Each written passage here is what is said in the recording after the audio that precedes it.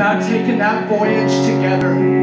We didn't want to die in our sleep like so many people wish for. Or at least she didn't. She thought it sounded boring, and even though dying scared me, I wanted to be brave enough to engage in the fantasy. We decided we'd go out defending our treehouse against the separatists. It was inevitable once they finally discovered us kissing traitorously beneath their cootie-infested headquarters.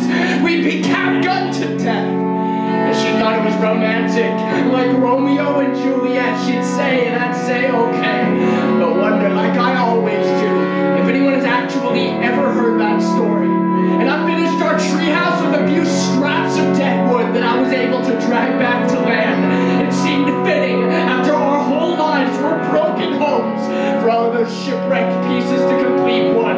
It was beautiful, and she might have called it redemption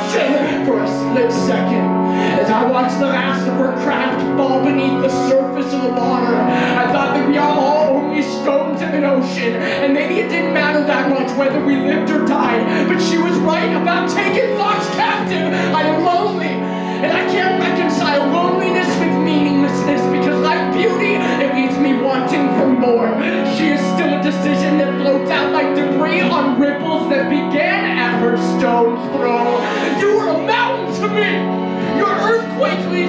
I long beyond your beauty, past your breaking, out into whoever is responsible for your new beginning.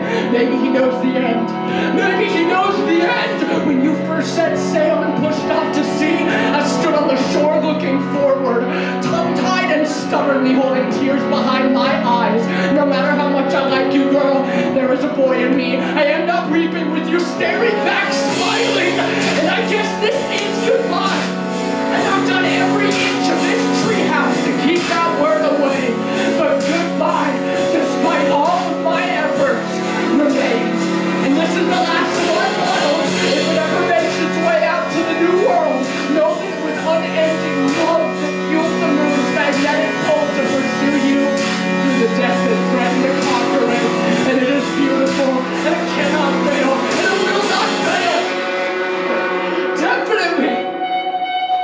infinitely, intimately, your king.